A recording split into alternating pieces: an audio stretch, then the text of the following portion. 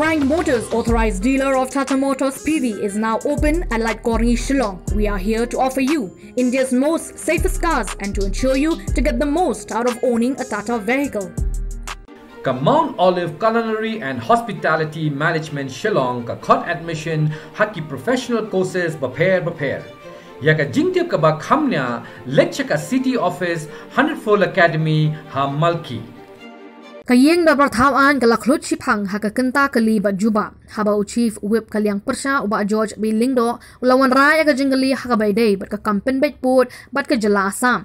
Uba George ula pin pao baka jing pin bait put. Haka kela ka ba ar gam deishu ban long kumba la le haka kela ka ba ningkong. Kalem ria selok lang ya ki badan benta bak kentup ya ki terai jaka bat ki nong sen syar senong. Kabala pin long ru ban mi ki jing persa naga jing do e ya ki jaka jong ki nong syong senong. Halor kata ika jing keren jong MLA e kaliang persa na kaliang umentri rang baka jelau konrad ki sama ulo ong ba ka jing keren jong uba George ka ka ba shutok.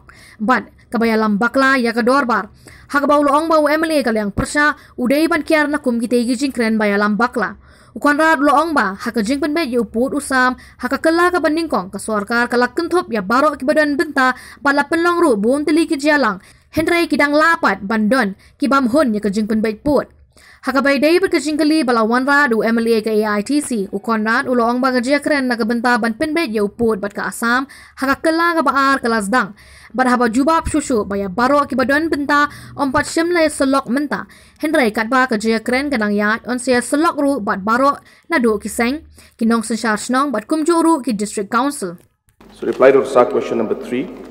Yes, A, yes, sir. B, sir, the matter will be taken up into consideration by the state government. Honorable Speaker, sir. Yes, madam. From the reply at 3A and B, it can be inferred that the government has gone ahead with the second round of talks for the settlement of the other six areas of differences with its counterpart in Assam.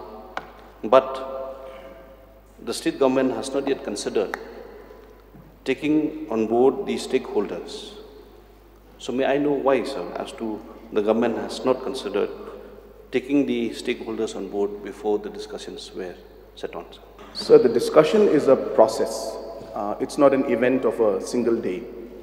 So therefore, the process has started. And as the process moves on, we will include, discuss, uh, we will invite stakeholders, we will have uh, public hearings, we'll have multiple meetings. So therefore, sir, the process has started. It's not that we have concluded the discussion. Hence, as this process moves forward, all stakeholders, all different people, public in general, all of them will be consulted, and only then we will move ahead with the discussion. I thank the Honorable Chief Minister for the reply, sir. Why I had raised this question is because in the first phase of the talks, all these things did not happen. And only after the conclusion of the MOU have the HIMAS and other stakeholders objected to the signing of the MOU and the areas that were given away to Assam by the state government. Sir. So I hope, sir, that the Honorable Chief Minister will stick to this particular process that he has already narrated because whatever we saw in phase one was never the way in which the Honorable Chief Minister had stated, sir. Sir, it's uh, sad that the honorable member is misleading the House completely. And uh, I can completely say that it's a lie, what he's saying, sir. In fact, uh, the process of the first phase saw multiple stakeholder meetings. For the first time, the ministers and the concerned officials went to ground zero, had multiple public hearings which are on record, not only with just Meghalaya, but even Assam was with us. So, sir, I would ask the honorable member to refrain from making such statements which are completely misleading. You're in the House. This is not a press conference that is going on. So be clear about your facts. This is not the way a responsible member should act, sir. In regards to the different members and the stakeholders we've talked to, every single stakeholder has been involved in this process, sir. I cannot say that every individual in the state has been involved, but the concern of the members was saying about the HIMAS. So the HIMAS, the discussion took place in all the relevant areas where it was. District Council, MDCs, all of them were there when these discussions were taking place. Different MLAs, different NGOs, different uh, you know, stakeholders, you name it, sir. I don't have the whole list with me right now because the question was primarily regarding the second phase. So I don't have the details of the first phase uh, of the, you know, but I'm sure we'll get an opportunity and I will share all those details of how many meetings took place and who all and how many people were involved in this. So I would ask the honorable member to refrain from misguiding and misleading the House, sir. Honorable Speaker, sir, the rules and procedures of conduct of this House tells us that we cannot cast personal aspersions on honorable members. It is expected that the leader of the House refrains from using the word lies and tells the members that we are lying. Sir, I'm talking and some members are trying to add fire to this, add fuel to this entire discussion. Sir, the Khasi Hills District Autonomous Council had already passed a resolution in the House opposing the MOU.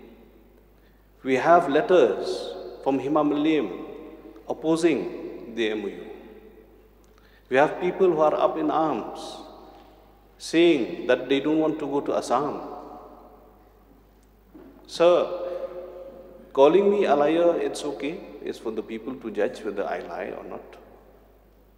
I don't want to divulge or diverge, uh, go away from the reply that the Honorable Chief has said, that the government will still be considering the stakeholders. It will still be thinking. So when we are moving into, into this, sir, interrupting an honorable member also is not part of the rule, sir.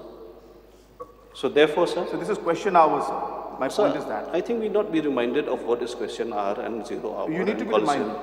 So why is the Honorable Chief Minister annoyed? Why is the Chief Minister annoyed? Sir, so calling, uh, calling me sir, I, I, would request, sir, as, as a, as a uh, calling me a liar in the first please, instance. Please put a question. Sir, the honourable member, point, I am getting. Sir, and I will give a very detailed reply to him. Chief Minister to but ask him to please give a special question, sir. Please, sir, please put a question. Supplementary. I'm coming to that, sir, because as questions were cast and Honourable member, this is a question hour, so I need so to please put a question. Yeah. So therefore, sir, I would request the government that at least last time we had asked for the draft MOU on the floor of the House to be circulated, that was not done, and many areas have been lost. So at least this time, sir, second round, at least take us as a House into consideration and at least circulate the areas first so that at least we can have a thorough discussion and see the ground realities before the government goes ahead with the second round and finalizes the other MOU, sir. Yeah. Sir, uh, the honorable member has been mixing a lot of words and trying to bring out emotions into this entire thing. I understand it is an emotional subject, there's no doubt about it. But the fact is, why I said he's misleading the House and lying about it is because he said that the stakeholders were not consulted. That is wrong, sir. We consulted the sir, stakeholders. letters were there, sir. sir. I'm, I'm, letters were there, sir. That's please, why. Please, please. Sir, I think the honorable member needs to, again, do his homework. He has to understand that not agreeing to a discussion and giving a letter of, you know, uh, discontentment does not mean discussion didn't take place. Because if the discussion had been there, why would there, there please, be please, discontentment? Sir, when we talk, is it always necessary that everything will go on as we agree or, or both all agree? It may not go. But does that mean we never talked? So for him to jump to a conclusion that because there was discontentment, we didn't talk, that is what I'm saying is misleading the House. Your point may be valid, that somebody was not contented or not happy with the MOU and they have a right to write to it. But does that mean or does that you know, imply that discussion didn't play, take place? So that, sir, mean, I'm replying, that means sir, that there is a neutral discussion was not necessary at all. Sir, I'm replying. That means this discussion was not necessary at all, sir. Then you just go ahead and decide and take, give away the areas. Sir, now Honorable Member is exactly saying what he said should not be done. Sir, we have maintained that we discuss with everybody. That's how discussions, sir, a complicated subject like that cannot be moved forward without this detailed discussion. That's number one. And that's why we did it. And what I'm saying is that the honorable member saying that we didn't discuss is misleading the House, and that's incorrect, sir. Number two part, he's saying that then why didn't we agree and why is the discontentment letter? So there will be. A complicated subject like this cannot have every single person agreeing to every single decision, and that's why government has to take a decision. It's not easy for us. But a lot of past governments have not taken this decision. We feel that it is time. 50 years have gone, and we took that decision. Now, I'm not saying that everybody agreed to it, so discontentment may be there. And that's what the uh, KHDC or the other uh, HIMAS might have written. That's fine. But saying that we didn't consult them is the part that I'm saying that you're misleading. We did consult them. They, just, they did not agree to it. That's a different issue. We may talk and argue for 100 years and we may not disagree. We may not agree, sorry. But that's how things go, discussion happens. But I'm saying, sir, that the, the discussion took place. All the stakeholders were consulted. Many, many rounds of discussion took place. And similarly, even in this second phase also, which is again a very, very complicated area, we will again have discussions with the stakeholders. And again, we might not have everybody agreeing to everything. But that's the nature of discussion, and that's the reason why solutions could not come out in the past, because there were a lot of divergent views. And the only way to bring consensus is to try to talk and try to figure out, and then ultimately move ahead with what is in the best overall interest, which may not be agreeable to everybody, but in the larger interest in the, of the state and the people, we had gone ahead, sir. And in the same way, manner, this phase also we will have discussions.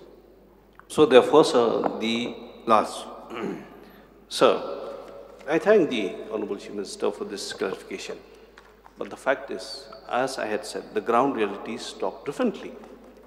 If fish ponds are being inspected in the middle of the night, if people who are trying to show concerns and raise voice, or maybe during the public hearings, they were trying to show their points, they were shouted down by the minister from Assam side, do we call this discussion, sir? Do we call such things as discussion and taking stakeholders on board when people on the ground are saying that they have come to inspect things at the middle of the night? And who are those people who have been called for the public hearing, sir? Where there are, are people from the state? so therefore, sir, the process, as the Honorable Chief Minister stated, needs to be reviewed because all the anomalies that had happened in phase one, sir, we don't want that to happen in phase two, sir. Thank you, sir. Sir, I think the honorable member has spoken in favor of the government because he said that, you know, the meetings took place even in the night. So that's what I'm saying, sir. If yeah, these are the yeah. kind of discussions. So, so, so what I'm trying to say, sir, this is how hard the members were working. That they even went to the late night. It's not about they didn't get tired. They were committed to the cause. And that's why even late night they were visiting. But the honorable member fails to mention that it wasn't that just one visit. There were six, seven, eight visits before that also to the same location. So therefore, I think he's just uh, certifying the fact that the government has done a lot of hard work. Even late night meetings took place, sir. So therefore, it's not just that one meeting, sir. He mentioning about that one meeting that happened to be late night, but that's because the area is big, complicated. We had to move on. Multiple meetings took place. He's mentioning about that one meeting, but before that, many meetings took place, sir for that uh, area also. Number two, sir, I also would request, so this is important, why? Because I know a lot of members would like to participate in this. This is a sensitive issue. I don't want anybody to play politics in this. This is not an issue to play politics. Please remember that. If we are trying to play politics with this, then we are going against the interest of our own people. Please refrain from playing politics. Please give positive suggestions. We are here to work for our people. We are here to resolve an issue that has been lying pending for the last 50 years. You have not seen the tears in the eyes of the people who come and meet us, crying and telling us, please resolve this issue. We can't sleep at night. Sir, I need the members of this house to feel that, to understand that. That it is not a simple issue. And we are responsible to our people. And the worst thing we can do is play politics on an issue like this. Now, sir, why I'm saying this is because a large number of members I know will mention this issue again. It's very easy to say, oh, we have left that village out. Let's be specific. Please don't give generic statements, is my request, sir, through you, that if the honorable members, when they say villages were left out, please mention which village. You know, there were differences in the area. Please, which area of the difference was there? It's a large area, sir, with many, many villages and a large population. If we give generic statements here in this house, then we'll keep going round and round and round in discussion and we will not reach to any conclusion. But yes, if there are areas that will help us, so there are suggestions that will help us to make the things better and resolve the situation in a much better manner for the people. So we are ready, we're ready to listen. But not if it is being done from the point of playing politics. So therefore, I'm not saying that people will play politics, but if you are making statements which are generic, like somebody will come and, I mean, honorable member just mentioned, sir, that villages were left out, you know, and people are in arms. Let us hear the names of the villages where people are up in arms. What is the problem out there? Let's discuss that and let's figure out how to resolve that issue. So let's be specific and just, uh, you know, raising up a generic tone in this thing will not help the process. And this is why, sir, in the past this issue has not been resolved simply because we were always very generic. But when you realize that we come down to micro details, we realize that there were some villages which were never under dispute. Then we realized in some villages people are agreeable to a solution. And then we realize that there are 20%, 15% where there is a genuine difference in the, in the people's opinion. So it is very important that we break this huge problem into micro problems. That's the only way to resolve it, sir. And when we break them down into smaller, smaller, smaller problems, then we are able to resolve it and find a solution and focus on the ones which we are not able to agree on. So my request, sir, will be that let us be specific, let us be productive. This is the best, you know, platform and the highest platform to discuss an issue like this. My only request, sir, is that we should not play politics in this. We should try and resolve this issue in the interest of the people and the state as a whole, sir. Sir. Honourable Member, uh, I would last. like to request the House that in, in, during the question hour, kindly be specific and very short because Sir. other members have raised the question, so, so I will Sir, have to this is a very make important, an attempt. So this and is a have, very important point. Please, Sir, take, the, please, take a seat. Please take a seat. We have the thing in the resolution also with regards to the boundary. So you may take up and raise your points there also. So let not be a waste of time during the question hour. Sir, this matter was dragged because unnecessarily the Honorable Chief Minister was Yeah, you may put a question now. Just put a question. My you raise whatever points in the resolution uh, where it is been listed. Sir, my question is whether these stakeholders, considering the members of this honorable of this house, sir, whether they will be considered before the other discussions go ahead with the, the balance six areas of differences. Sir, I've already replied. Uh, the answer is affirmative. Yes, sir. We will be discussing with everybody. Yeah.